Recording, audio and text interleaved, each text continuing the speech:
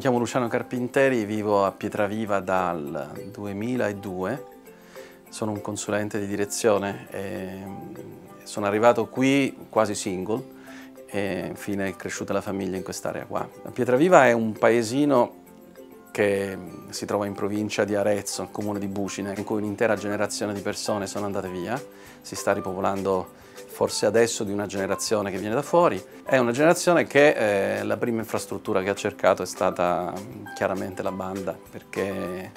se per noi è stato importante tanti anni fa che ci fosse l'acqua, luce e tutto il resto, adesso la banda è in realtà l'infrastruttura primaria se uno vuole decidere di star qui e contemporaneamente non essere tagliato fuori. Le difficoltà primarie prima de della banda larga erano che non ti potevi limitare grosso modo che alle email per lavoro e se si aveva bisogno di un file più grosso di qualche file audio o video bisognava aspettare. È arrivata probabilmente al momento giusto perché eh, i bambini sono cresciuti, eh, ho avuto degli impegni di lavoro molto legati all'estero nei quali le videoconferenze sono diventate proprio in questi anni il lavoro usuale.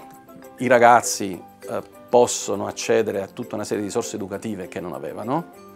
e che non sono poche perché consideriamo che larga parte delle cose che possono imparare lo possono fare con dei tutorial video. Consideriamo che mia moglie è francese e io sono di origine siciliana e uh, Skype è diventato il modo per comunicare anche